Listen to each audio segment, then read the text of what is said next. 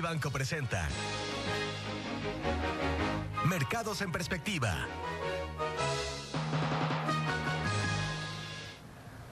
8 de la mañana con 11 minutos, tiempo del centro de México. Bienvenidos a Mercados en Perspectiva. Juan Musi, excelente día. Comenzamos este jueves con buenas noticias en la relación Estados Unidos-China. Así es, creo que es lo más destacado, sin duda. Yo te diría que sin conocer amplio detalle de a partir de cuándo, pero aparentemente pronto, muy pronto, podrían eh, quitar las tarifas que ya había impuesto el presidente Donald Trump en varios esfuerzos en los que había tasado con aranceles, distintos aranceles también a diferentes productos y siempre buscando acuerdos en los que eh, China se comprometiera a tener que comprar más productos norteamericanos, sobre todo en materia eh, eh, agropecuaria. Y mira, la verdad es que es una buena noticia para China y para Estados Unidos, pero también es una buena noticia para el mundo. No sé si recuerdas, Pedro, pero yo te lo venía diciendo, que este era un juego de, de bluff del presidente Trump, estaba jugando una especie de póker con los chinos de cara a su carrera electoral y al final de cuentas iba a usar todos estos argumentos, pero que difícilmente veíamos que sí se desatara feo una guerra comercial, porque iba a ser bien complicada para China, para Estados Unidos y para el mundo. Eh, yo creo que simplemente el que el presidente de Donald Trump haya literalmente doblado las manitas tiene que ver con que de cara a la elección, si es que busca reelegirse, y por supuesto que él quiere reelegirse, pues evidentemente esto no le estaba saliendo, no le estaba resultando. La economía norteamericana sigue estando bien, pero está desacelerando y por supuesto que ya se notan efectos fuertes, importantes, nocivos, productos de esta guerra comercial. El proteccionismo no lo iba a llevar a ningún lado. Eh, hemos visto a lo largo de la historia del mundo pues que cuando alguien impone políticas proteccionistas y a bien logra proteger un sector y ayudar a un sector, por un tiempo determinado, pero en el largo plazo meter medidas proteccionistas no beneficia a nadie. Y al final de cuentas, pues creo que tuerce las manos el presidente Donald Trump, eh, quiere reelegirse y sabe que así no le va a alcanzar. Y bueno, pues ojalá y de veras ahora sí sea definitivo. Es una buena noticia también para Estados Unidos y México, porque al final de cuentas, si Estados Unidos no desacelera, gracias a tampoco poner esta imposición de tarifas, beneficiaría también a nuestro país. Y por otro lado, comentarte aquí en México, la semana entrante hay decisión de política monetaria y hoy se publica la inflación mensual de octubre que sale en 0.54 y la anual en 3.02.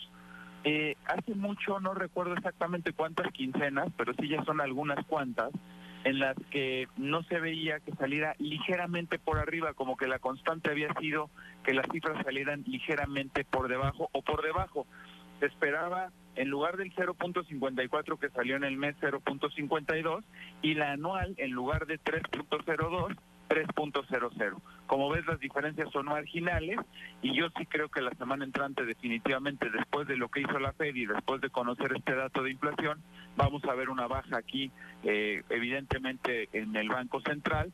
El debate ¿será de 0.25 o será de 0.50? Ojalá sea de 0.25, porque 0.50 yo creo que provocaría o ahuyentaría aún más flujos de, de, dinero de inversión extranjera que si bien está aquí en México por obtener mejores rendimientos, pues si bajas la tasa de golpe 0.50, creo que podríamos provocar eso. Ojalá y si baje la tasa y ojalá sea de 0.25.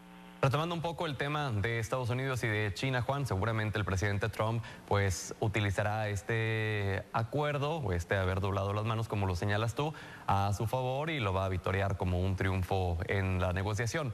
Pero esto de cómo le va a afectar al tipo de cambio, cómo puede hacer verse afectado a la alza, a la baja.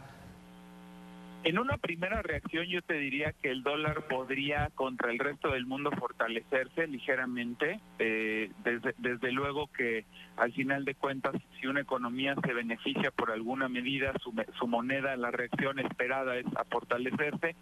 Eh, ya lo estamos viendo ligeramente, digamos que contra los niveles que abrió hoy en la mañana antes de que se conociera esta noticia, que andaba sobre el 19.08, anda sobre el 19.15, pero no creo que se vaya a fortalecer de sobremanera. El dólar está fuerte contra el resto del mundo, el dólar ha sido la divisa fuerte desde el 2014.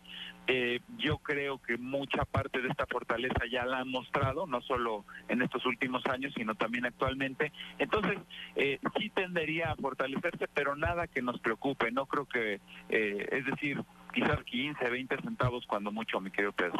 Muy bien, Juan, pues agradecemos entonces tu tiempo y estamos al pendiente platicando acerca de lo que hará Banco de México la siguiente semana, si baja un cuarto de punto o baja medio punto. Por supuesto, mi querido Pedro, ya lo estaremos comentando. Insisto, creo que es más prudente irte de poquito en poquito, administrar las bajas y ojalá sea de punto 25. Estaremos al pendiente. Juan, gracias por tu tiempo. Excelente día. Igualmente, Pedro, muy buen día. Cuídate mucho. Gracias. Igualmente.